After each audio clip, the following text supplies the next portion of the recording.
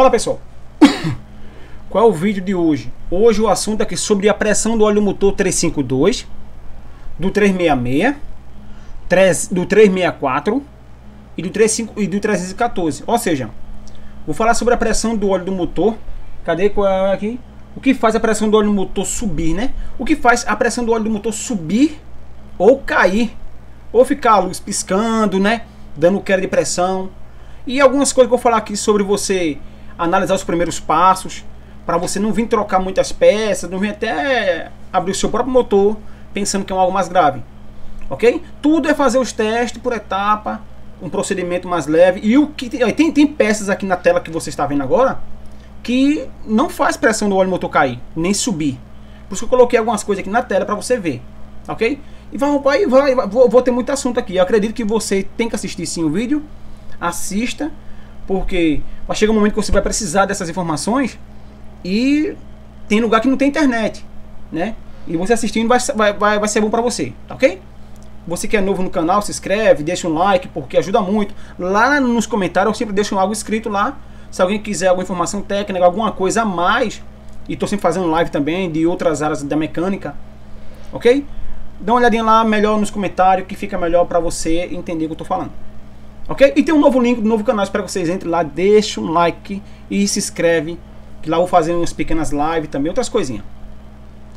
Aí, deixa eu ver aqui, sim, a pressão do óleo no motor, para subir ou para cair. Eu vou olhar aqui um, algo básico e falando logo para você. Pronto, o motor, lá primeira coisa, um motor 314 tem ele maçarico e tem ele turbinado. O motor 314 é o motor da Mercedinhas, tá ok? Você encontra esse motor 314 nas Mercedes 608, 609, outras 600, né? E encontra também em barco, com, encontra também em ônibus, né? Micro-ônibus no caso, né? Ok? Então esse aqui a gente já tira. Outra coisa, compressor de ar.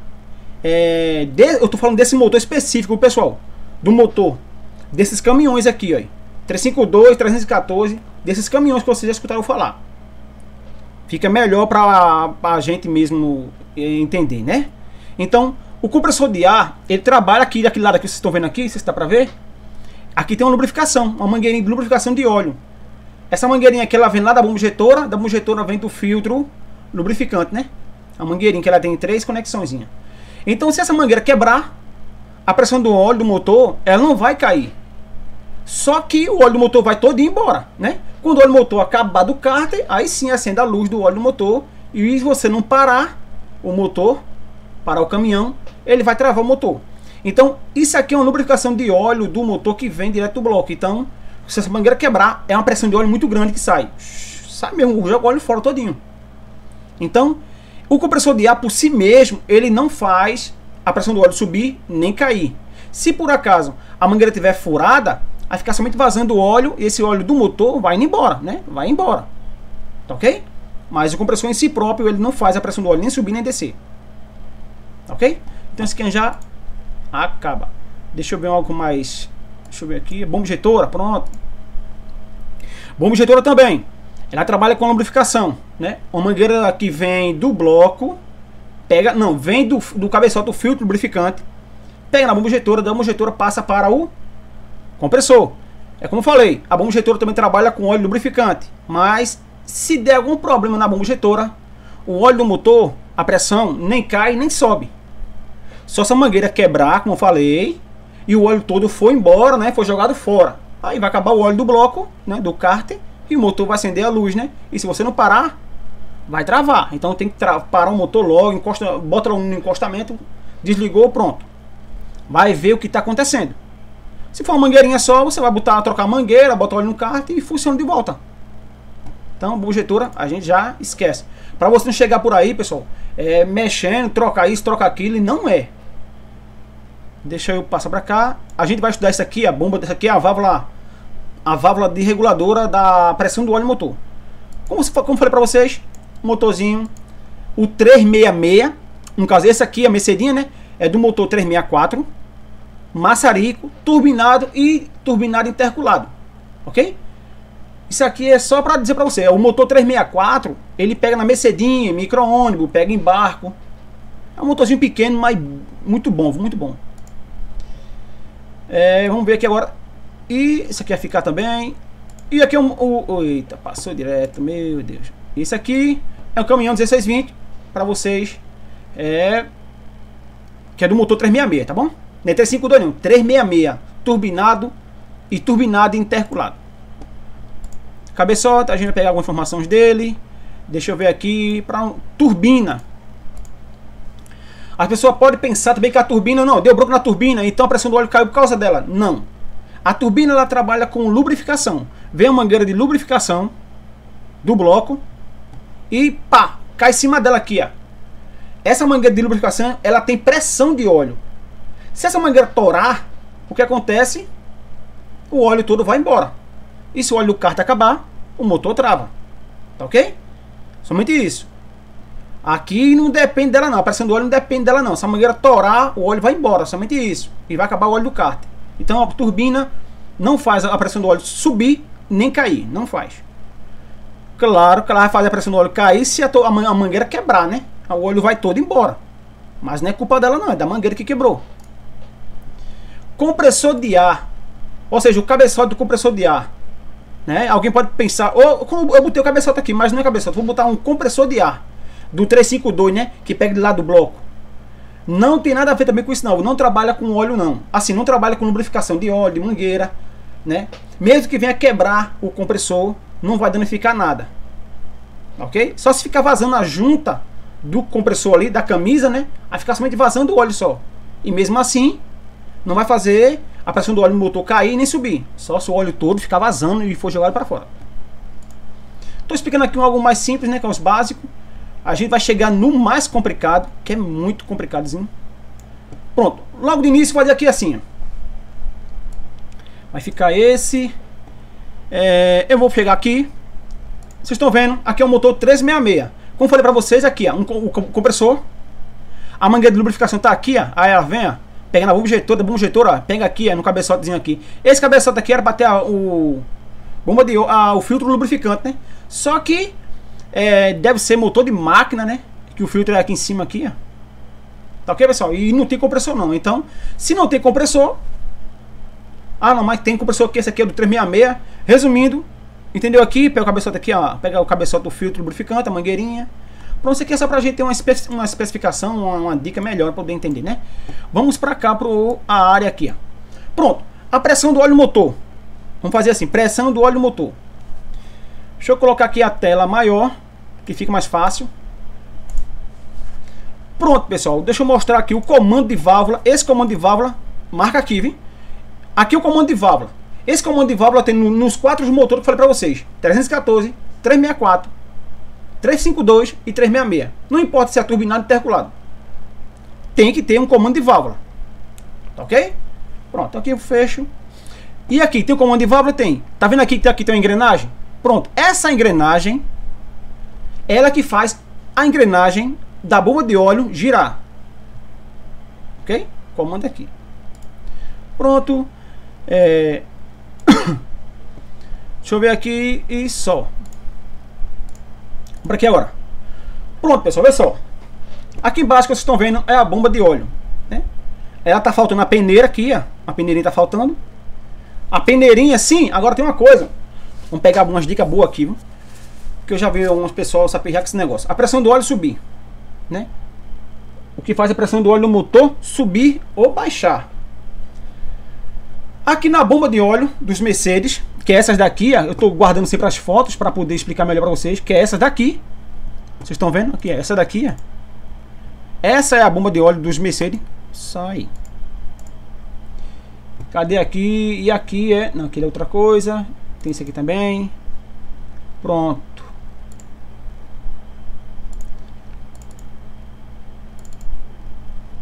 Deixa bem fácil para poder o pessoal fazer e dar certo, né? Pronto, aqui a bomba de óleo. Ok? Bomba de óleo. Isso aqui, vou para cá. Vamos fazer assim. Aqui pega uma peneira.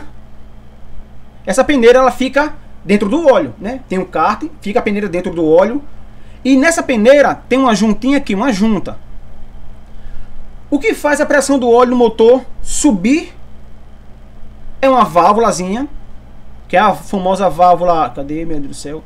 É a válvula, essa daqui, ó. Só um minutinho, pessoal, que tem hora que dá uns game over aqui.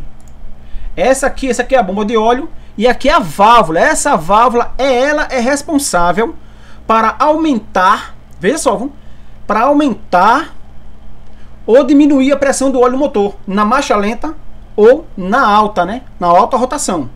E lembrando, pega logo essa dica aí. A pressão de óleo do motor 314, que é da Mercedes 608. Ué, 314 da o motor 352, ele sem turbinado, interculado, não importa. 314 da Mercedinha e da Mercedes 11313, a pressão do óleo desses motores é de 1 bar. O motor tem que estar em 500 RPM na marcha lenta, tem que ter um bar de pressão. Pega essa dica aí. Os motores 366, que é das Mercedes 710, né? 366, né? Não importa se está, se está no barco ou no ônibus.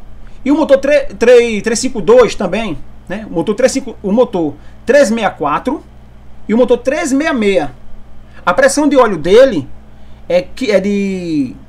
É de, que, de 500. Foi aqui, deixa eu pegar aqui a tabela aqui. Para não errar. Tá aqui, pessoal. Aqui é o que? O, aqui, ó. O motor aqui, 314 aqui em cima. É o 314, que é da Mercedes 608, para barco, ônibus, o que você quiser. Esse motorzinho, ele sem turbinado, interculado ou não. Tá aqui, ó, o RPM dele aqui, ó. Deixa eu tentar explicar melhorzinho. Pegue. Em 500 RPM, motor na marcha lenta, ele tem que dar um bar de pressão aqui embaixo. Um bar de pressão. Se tiver em 900, tá bom ainda, né? Com o motor quente, né? O motor tá quente, você viu. Olha, tá quente, mas quente quanto? Eu vou colocar, pessoal, em 85, 90 graus, tá bom? O suficiente. 85, 90 graus, tá quente. É onde a válvula termostática abre, né? O motor tá quente. Então tem que ter um bar de pressão. E nesse daqui, do 352, ele sendo turbinado, interculado, não importa. É a mesma coisa aqui, RPM 500, um bar de pressão. Eita um bar de pressão, tá bom? 314 e 352, um bar de pressão. Bora para outra aqui, aqui o 352 turbinado é a mesma coisa que embaixo. Agora tá aumentando aqui, ó. Se o seu motor 352 for turbinado, ele tem que ser, ele tem que ser em 600 RPM. Pega todas essas dicas aí para anotar. Em 600 RPM, se por acaso seu motor ele for um 352A turbinado, ele tem que estar tá na, na, em contagem, né? Em 600 a pressão do óleo tem que ser um bar de pressão. A gente analisou agora o que? Que o motor, o 352 maçarico, né? Que aqui em cima aqui, a gente olhou aqui atrás, cadê? Aqui em cima, o 352 maçarico. E o motorzinho 314, que é das Mercedinhas 608, ele é um bar de pressão de óleo. Só que o motor pode ficar em 500 RPM. Quando passa para um motor mais pesado, mais, mais pressão, né? Que é o motor aqui, ó, o 352A, que é o turbinado, ele já disse que tem que estar em 600 RPM. Já aumenta mais 100, né? Para poder o motor chegar aqui ó, em um bar de pressão. Então a gente já pegou essa dica aqui, né? Para você não ficar depois, rapaz, o meu tá em tanto giro e só tem tanto de pressão. Isso é normal. Se por acaso, ah, não, é um bar de pressão, é, mas caiu para 900, tá quente o motor? Tá, então tá bom. Anda com ele, faz um teste, depois olha numa pressão para ver se manteve ali.